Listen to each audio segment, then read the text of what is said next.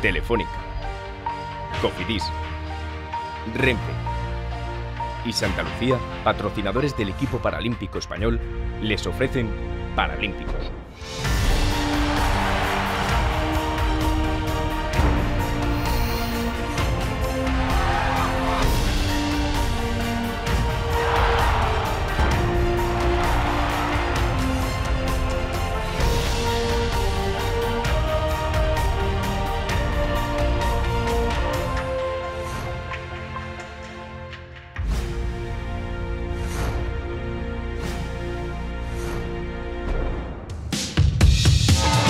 Pues aquí estamos otra vez. Ya nos conocéis. Somos paralímpicos y os contamos todo lo que tiene que ver con el deporte nacional e internacional de alta competición de personas con discapacidad. Y muy contentos además porque el equipo español ha regresado con 10 medallas de los campeonatos del mundo de atletismo de Doha. Pero como hay muchos temas más, empezamos ya.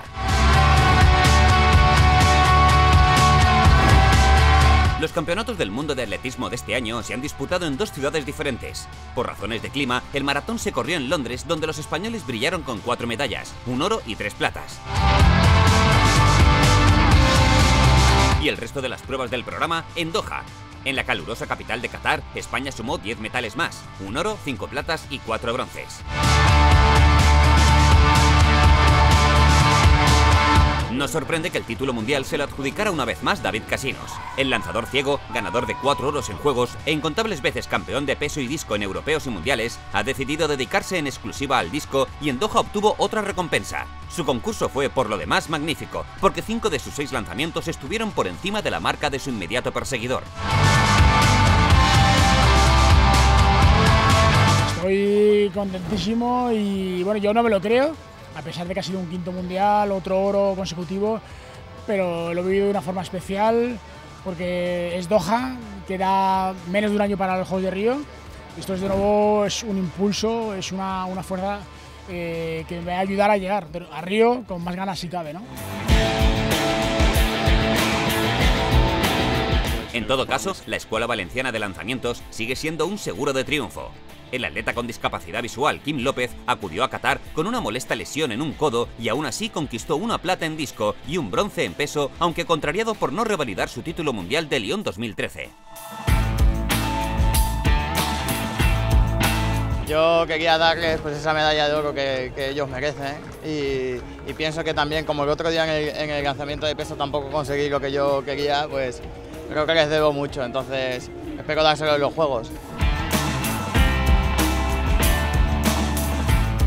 Las otras cuatro plazas las alcanzaron el mediofondista ciego Gerard Descarrega con su guía Marcos Blanquiño en 400, el atleta con discapacidad intelectual Deliber Rodríguez en la misma distancia y los deportistas con discapacidad visual leve Iván Cano en salto de longitud y Alberto Suárez en 5000. Parecía una prueba corta para el asturiano, campeón paralímpico y mundial de maratón, pero en Doha demostró que es competitivo en todas las distancias del fondo.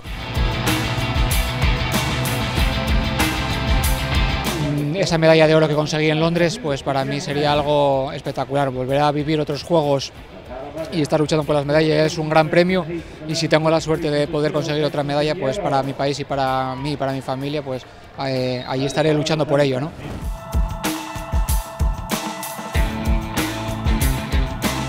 Los tres bronces restantes se los trajeron la saltadora con discapacidad visual, Sara Martínez, en longitud, y los dos relevos de 4 El masculino, formado por los deportistas con discapacidad visual, Martín Parejo y su guía Timoteo Stewart, Diego Sancho, Gerard Descarrega y su guía Marcos Blanquiño, y Joan Munar, y el femenino por Lía Bell y su guía David Alonso, la propia Sara Martínez, Melanie Vergés y Sara Fernández.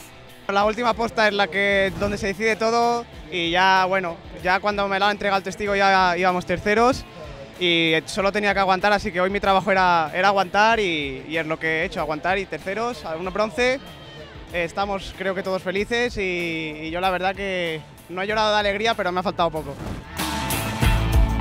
Sumando pues las cuatro medallas de Londres y las 10 de Doha, los Mundiales de Atletismo 2015 arrojan un saldo total de 14. Los dos oros, ocho platas y cuatro bronces superan ampliamente las nueve de los últimos mundiales de Lyon 2013 y las cinco de los Juegos de Londres. Inmejorable panorama de cara a Río 2016.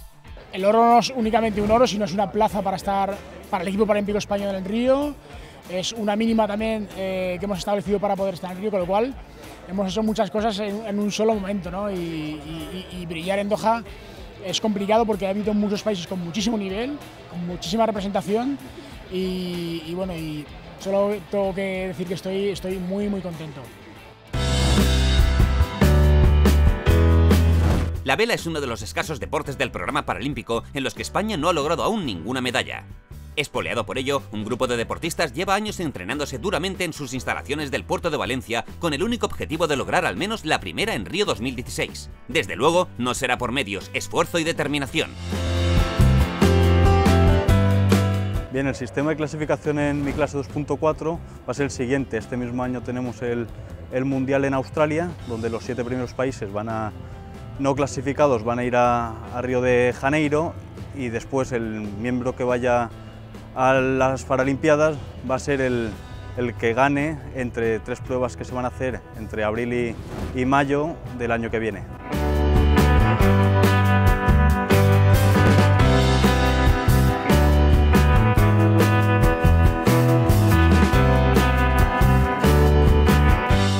Cuanto a las expectativas del equipo español, eh, están muy altas, donde en todas las clases vamos a intentar clasificar al país y este año tenemos muchas posibilidades.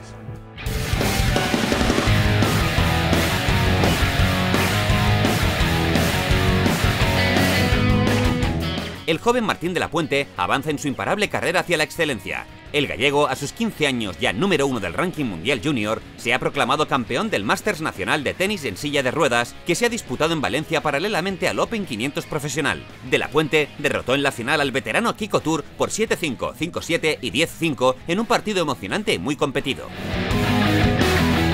el atleta David Casinos, el ciclista Alfonso Cabello, el nadador Ricardo Ten, el tenista Daniel Kadersaki, la alterófila Loida Zavala y la jugadora de bocha Sandra Peña son los protagonistas de la campaña Se Salen, que ha puesto en marcha Liberty Seguros, empresa patrocinadora del equipo paralímpico español.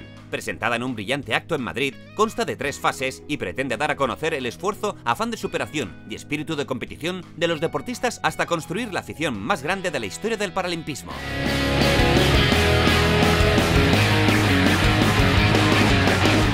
El Ilunion de Madrid y el Vidaideac de Bilbao se mantienen con tres victorias, líderes invictos del Grupo 1 de la Liga de Baloncesto en silla de ruedas. En el Grupo 2, el Mideva Extremadura encabeza la clasificación con dos victorias y una derrota.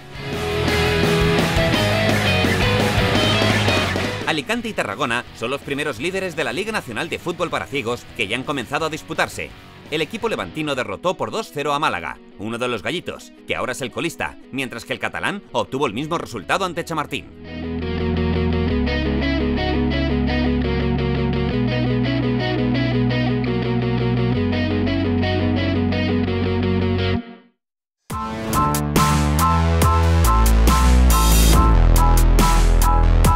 Que nunca ningún niño con discapacidad, ni en el patio del colegio, ni en un parque, ni en una cancha, se ha rechazado para jugar por sus compañeros sin discapacidad. Este es el objetivo final de una de las sucesivas semanas del deporte inclusivo que la Fundación Sanitas organiza desde 2010. La sexta semana comenzó con un emotivo acto de inauguración en el INEF de Madrid, en el que se presentó Extraordinarios, una película sobre la inclusión que cuenta cinco historias diferentes protagonizadas por grandes deportistas con y sin discapacidad como Teresa Perales, Óscar Pereiro, Juanjo Méndez, Raquel Acinas o Paco Bullo.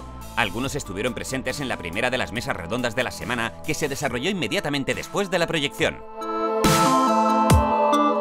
Embargo, la práctica pura tuvo lugar en los días siguientes, especialmente en el primer torneo Fundación Sanitas del Deporte Inclusivo, en el que participaron más de 350 escolares de secundaria y bachillerato. Siempre de manera inclusiva, jugaron a rugby, badminton, bocha, atletismo, golf, tenis de mesa o baloncesto. Todos se llevaron una medalla de oro que les entregaron el tirador de esgrima José Luis Abajo Pirri y Álvaro Valera, campeón paralímpico de tenis de mesa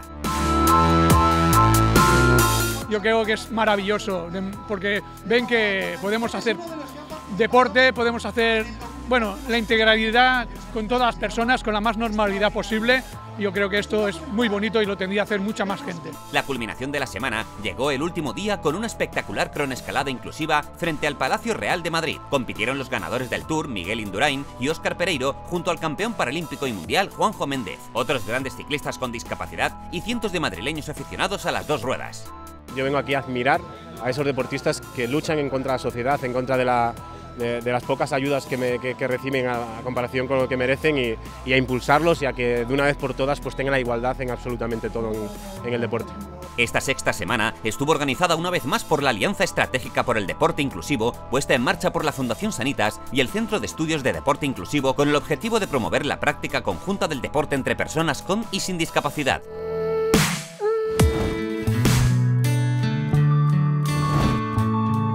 En nuestro próximo espacio vamos a analizar cómo se presenta la Liga 2015-2016 de baloncesto en silla de ruedas que ha comenzado recientemente. Y entre otras muchas cosas, os enseñaremos los secretos del triatlón, disciplina que se va a estrenar en los Juegos Paralímpicos el año que viene en Río. No podéis perderoslo, os esperamos.